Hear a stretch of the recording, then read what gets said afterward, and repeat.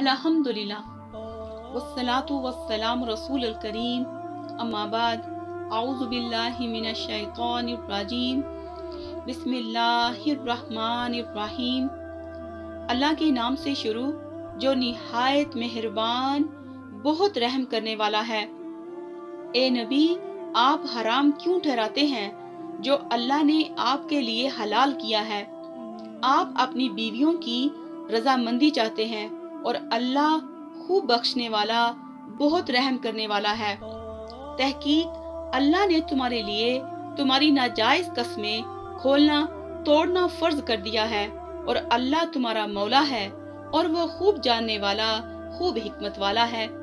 اور جب نبی نے اپنی بیویوں میں سے کسی ایک سے ایک بات چھپا کر کہی، پھر جب اس نے دوسری کو وہ بتا دی اور اللہ نے وہ گفتگو اس نبی پر ظاہر کر دی۔ تو اس نے اس میں سے کچھ اس بیوی کو جتائی اور کچھ ٹال دی۔ پھر جب اس نبی نے اسے وہ بات بتائی تو وہ کہنے لگی، آپ کو یہ کس نے بتائی؟ اس نبی نے فرمایا، مجھے خوب جاننے والے، بہت باخبر اللہ نے خبر دی ہے۔ اگر تم دونوں اللہ سے توبہ کرتی ہو تو بہتر ہے۔ بس تمہارے دل حق سے ہٹ گئے ہیں۔ اور اگر تم دونوں اس نبی کے خلاف ایک دوسرے کی مدد کرو گی، تو اللہ خود اس کا مددگار ہے اور جبرائیل اور تمام نیک مومن اور ان کے علاوہ تمام فرشتے بھی مددگار ہیں۔ اگر وہ نبی تمہیں طلاق دے دے، تو شاید اس کا رب اس کو تم سے بہتر بیویاں بدلے میں دے۔ مسلمان مومن، فرما بردار، توبہ کرنے والی، عبادت گزار، روزہ دار، شوہر دیدہ اور کماری عورتیں۔ اے ایمان والو، تم خود کو اور اپنے اہل و عیال کو اس آگ سے بچاؤ جس کا ایندھن، لوگ اور پتھر ہیں۔ اس پر تند مزاج اور سخت گیر فرشتے مقرر ہیں۔ اللہ انہیں جو حکم دے، وہ اس کی نافرمانی نہیں کرتے اور وہ وہی کرتے ہیں جو انہیں حکم دیا جاتا ہے۔ ایک کفر کرنے والو، تم آج عذر پیش نہ کرو۔ یقیناً تمہیں وہی بدلہ دیا جائے گا جو تم عمل کرتے تھے۔ اے ایمان والو، تم اللہ کے حضور، خالص توبہ کرو۔ شاید تمہارا رب تم سے تمہاری برائیاں دور کر دے اور تمہیں ایسی جنتوں میں داخل کرے جن کے نیچے نہریں جاری ہیں۔ اس دن جب اللہ نبی کو اور اس کے ساتھ ایمان لانے والوں کو رسوا نہیں کرے گا، ان کا نور ان کے آگے اور ان کے دائیں دوڑتا ہوگا۔ وہ کہیں گے، اے ہمارے رب ہمارے لیے ہمارا نور پورا کر اور ہماری مغفرت فرما۔ بے شک تو ہر چیز پر خوب قادر ہے۔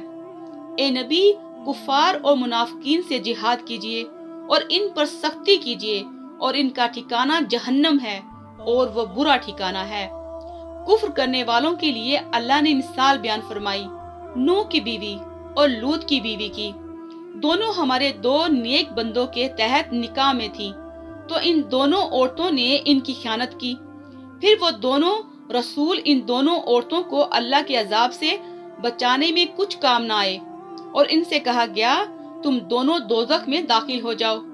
داخل ہونے والوں کے ساتھ۔ اور اللہ نے اہل ایمان کے لیے فرون کی بیوی کی مثال بیان کی۔ جب اس نے کہا، اے میرے رب، میرے لیے اپنے ہاں جنت میں ایک گھر بنا اور مجھے فرون اور اس کے عمل شر سے نجات دے اور مجھے ظالم قوم سے نجات دے۔ اور مثال بیان فرمائی، مریم بنت عمران کی، جس نے اپنی عصمت کی حفاظت کی، تو ہم نے اس کے گریبان میں اپنی روح پھونکی اور اس نے اپنے رب کے کلمات اور اس کی کتابوں کی تصدیق کی اور وہ فرما بداروں میں سے تھی۔ آیت نمبر آٹھ سے نو تک۔ ملاقات کریں حواشی سورہ نساء ایک سو چھ سلیش چار۔ اور سورہ معدہ چوہتر سلیش پانچ۔ علاوہ ازی رسول اللہ صلی اللہ علیہ وسلم نے فرمایا، قیامت کے دن پروردگار اپنی پنڈلی کھولے گا تو سب مومن مرد اور مومن عورتیں سجدے میں گر پڑیں گے۔ لیکن وہ لوگ رہ جائیں گے جو دنیا میں ریاکاری اور نیک نام کہلانے کے لیے سجدہ عبادت کیا کرتے تھے۔